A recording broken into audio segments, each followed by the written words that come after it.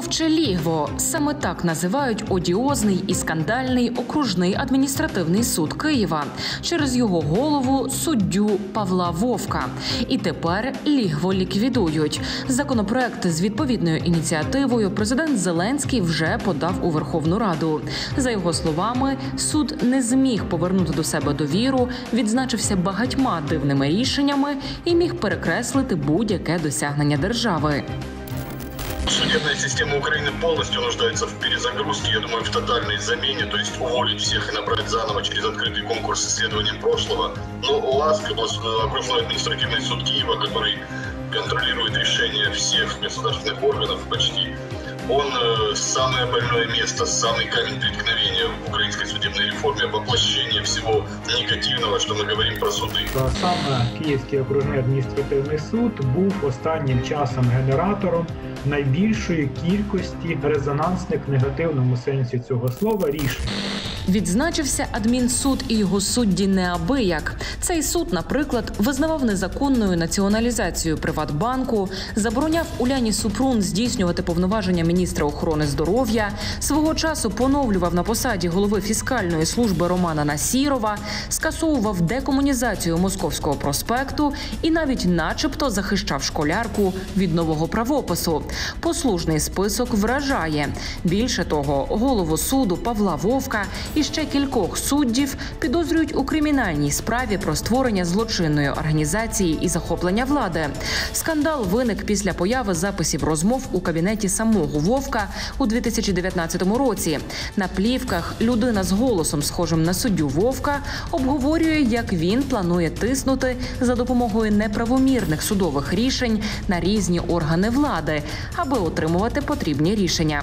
Власне, ОАСК є судом першої інстанції, який зокрема займається оскарженням рішень органів державної влади чи місцевого самоврядування у Києві. Він займався в принципі питаннями е, влади, від, відносин між гілками влади, відносин, наприклад, якихось господарюючих суб'єктів із е, владою.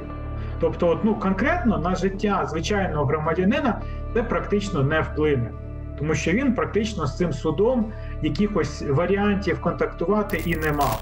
Та попри те, що окружний адмінсуд Києва займається справами в більшості пов'язаними із державними органами, хибно вважати, що нас це питання взагалі не обходить. Навіть навпаки, очищення саме цього суду може докорінно змінити ситуацію із правосуддям.